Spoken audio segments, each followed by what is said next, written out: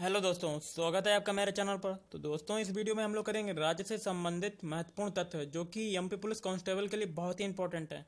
तो दोस्तों, इस वीडियो में पूरे मध्य प्रदेश पुलिस कांस्टेबल के क्वेश्चन होंगे, जो कि इस टाइम पूछे जा रहे हैं। और ये क्वेश्चन आगे वाले, आने वाले एग्जामों के लिए बहुत ही महत्वपूर्ण होंगे। तो चलिए दोस्तों, हम लोग स्टार्ट करते हैं। तो दोस्तों, हमारा पहला क्वेश्चन है, मध्य प्रदेश का कपास अनुसंधान केंद्र कौन सा है? तो वो है इंदौर। अगला, मध्य प्रदेश का कौन सा शहर सिंध गंगा मैदान में है? तो वो है जबलपुर, मैदानों में जबलपुर। अगला चेचाई जलप्रपात कहाँ है? तो वो रीवा में। अगला बधाई है तो ये क्या है? बुंदेलखंड का लोक नृत्य। अगला है, किस ज़िले में मृदा अपर्दन की समस्या है? तो वो है मुरैना। अगला, गिर के शेरों को रखे जाने हेतु किस राष्ट्रीय पार्क का चयन किया गया? तो वो है पाल, पालपुर कूनो। अगला, मध्य प्रदेश का ऑटोमोबाइल उद्योग कहाँ समूह कहाँ है? तो वो पीथमपुर में। अगला, मध्य प्रदेश में किस फ़सल का उत्पादन अधिक होता है? तो वो है सोयाबीन। अगला कोल बेड मीथेन पाई जाती है साइडोल में।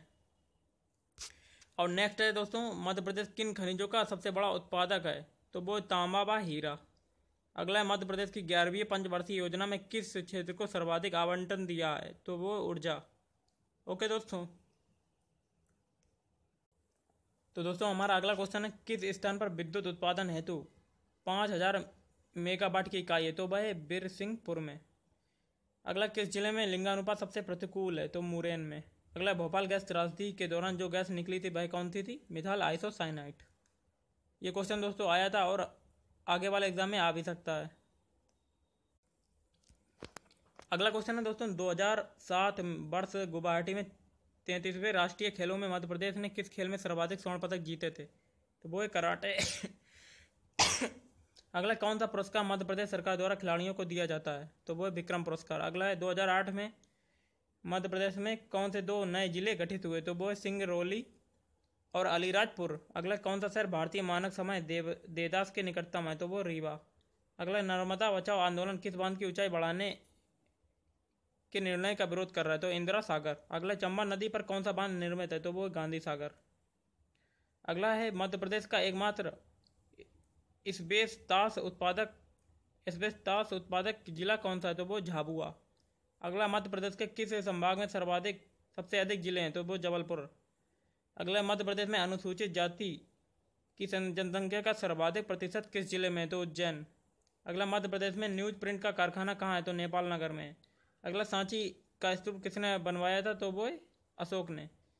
अगला मध्य प्रदेश में छत्तीसगढ़ के गठन के पश्चात कितने ज़िले बने? ज़िले हैं तो एक वो है इक्यावन। अगला, खजुराहों के मंदिर बनाने वाले कौन से परिवार के राजा थे? तो वो है चंदेल। अगला क्वेश्चन है दोस्तों, भिलाई इस्पात कारखाना में उत्पादन कब शुरू हुआ? तो उन्नीस सौ उनसठ में। अगला, क्षेत्रफल की दृष्टि से मध्य प्रदेश का कौन सा मध्य प्रदेश का देश में कौन सा स्थान है? तो वो है दूसरा। अगला क्वेश्चन है दोस्तों, विभाजन के बाद मध्य प्रदेश राज्य की सीमाएँ कितने राज्य के साथ मिलती हैं? तो वो है पाँच। अगला है मध्य प्रदेश में शालाओं प्राथमिक माध्यमिक, उच्च माध्यमिक संख्या लगभग कितनी है? तो बयासी हज़ार। अगला, मध्य प्रदेश में जिला सरकार के अधिकार किसको दिए गए? तो जिला आयोजना समिति को। अगला, चंबल नदी का उद्गम कहाँ से होता है? तो वो महू। अगला, एक सौ पचास वर्ष पहले मध्य प्रदेश का पहला समाचार पत्र कहाँ प्रकाशित हुआ? तो मालवा अखबार अगला, मध्य प्रदेश में राष्ट्रीय बैंक नोट प्रेस कहाँ है? तो देवास। अगला मध्य प्रदेश के उच्च न्यायालय का मुख्यालय कहाँ है? वो जबलपुर में। अगला मलाजखंड तांबा खदाने कहाँ है? तो बालाघाट में। अगला, बैगा नामक पुस्तक किसने लिखी थी? तो बैरियर एल्विन ने। अगला, न्यूनतम ग्रामीण जनसंख्या के प्रतिशत का कौन सा जिला है? तो वो है भोपाल।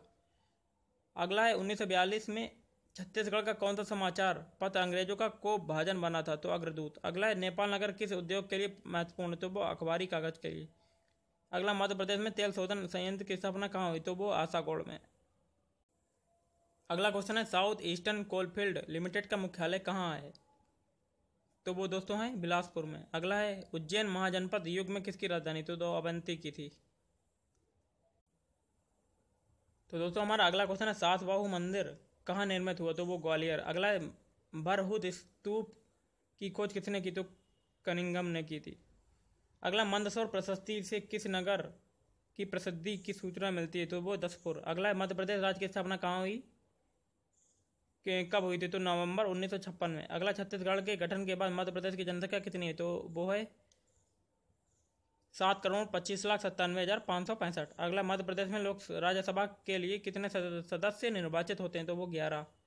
अगला, मध्य प्रदेश में लोकसभा के लिए कितने सदस्य निर्वाचित होते हैं? तो उनतीस। अगला, मध्य प्रदेश में वर्तमान समय में कुल कितने ज़िले हैं? इक्यावन। अगला, मध्य प्रदेश में विधानसभा के लिए कितने सदस्य निर्वाचित होते हैं? तो दो सौ तीस। अगला, मध्य प्रदेश राज्य को कितने संभागों में विभाजित किया गया तो वो दस। अगला है मध्य प्रदेश में उच्च न्यायालय की खंडपीठें कहाँ हैं? तो इंदौर, ग्वालियर व इंदौर में। तो दोस्तों, अगर आपको वीडियो अच्छा लगे तो प्लीज़ हमारे चैनल को सब्सक्राइब करें। इस वीडियो को लाइक और शेयर ज़रूर करें अगर आपको पसंद आए। तो दोस्तों, अगले वीडियो में हम लोग कुछ और क्वेश्चन करेंगे जो कि एम पुलिस कांस्टेबल के लिए बहुत ही इंपॉर्टेंट होंगे।